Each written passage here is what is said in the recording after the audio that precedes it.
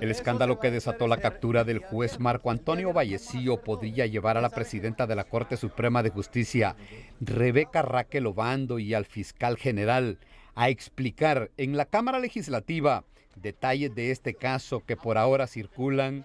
y suenan como cuentos de pasillo. La presidenta de la Corte Suprema de Justicia y el fiscal general de la República deben de ser llamados a dar una explicación al Pleno del Congreso Nacional en relación al caso del juez Marco Vallecillo. Esto denota que el sistema judicial y todo el sistema de operadores de justicia en el país está en una situación de precariedad.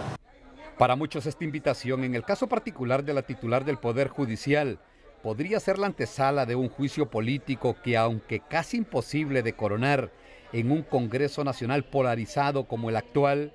es el único camino legal para sacar del cargo altos funcionarios en elección de segundo grado. Estamos realmente en una situación muy compleja, esperemos de que no se aplique el juicio político porque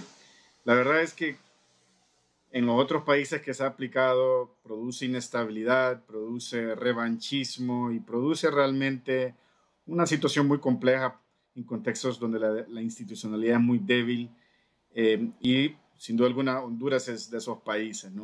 La historia solo recuerda la destitución del entonces presidente del Poder Judicial Osvaldo Ramos Soto, que aspiraba a la titularidad del Ejecutivo utilizando su cargo. En ese tiempo no existía el juicio político y fue hasta el 2013 que se aprobó la ley con esta figura por recomendación de la Comisión de la Verdad y Reconciliación y por la fresca destitución de cuatro magistrados de la Sala Constitucional. La ley nace en 2013 ¿no? y es una respuesta a la destitución de la Sala Constitucional de los magistrados de la Corte Suprema de Justicia en 2012 precisamente.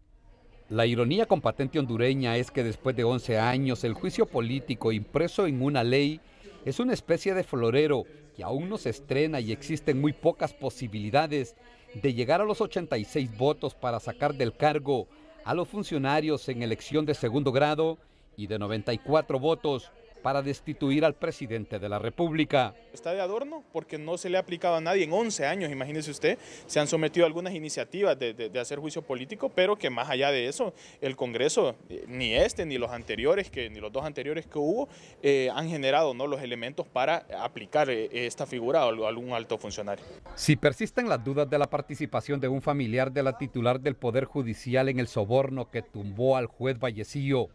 el congresista Marlon Lara advierte que la invitación para escuchar la versión de la funcionaria en la Cámara Legislativa saldrá de la bancada liberal.